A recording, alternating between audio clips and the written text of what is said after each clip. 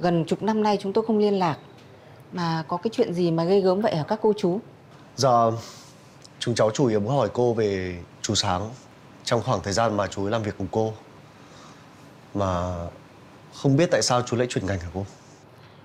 Thú thật là tôi rất lấy làm tiếc Ông Sáng là một người tài năng Phải nói là cực kỳ tài năng Là ngôi sao sáng của cơ quan chúng tôi đấy Năm đó Ông Sáng nghiên cứu một đề tài khoa học Được nhận tài trợ từ một số tổ chức nước ngoài Dạ. Nghiên cứu về thuốc dành cho các cái bệnh nhân đau đầu kinh niên. Ông ấy đang chuẩn bị bước sang thử nghiệm với người.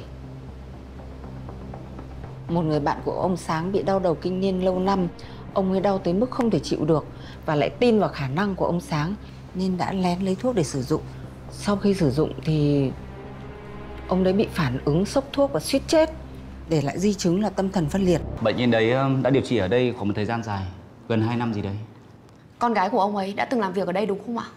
Tên cô ấy là Nguyễn Vân Thùy, sinh năm 1995.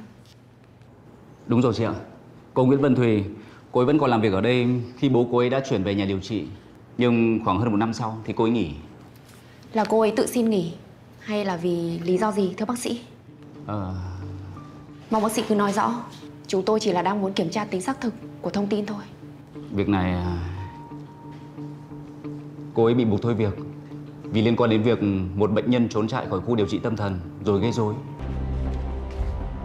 Chào anh Đạt Ơ, ừ, chào các anh đứng ở cửa nhà em đông thế.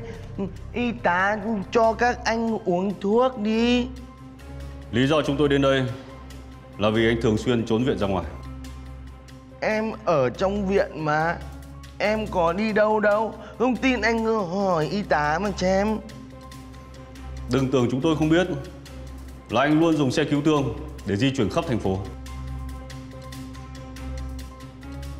Bệnh viện là của nhà anh Nhưng không phải vì thế Muốn lộng hành thế nào cũng được Đau đầu quá.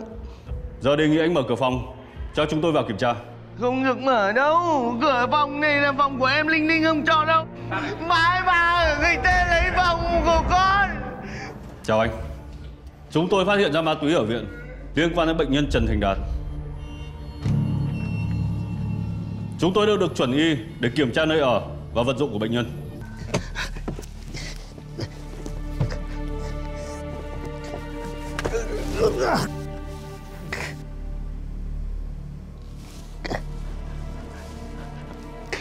Cứu tôi.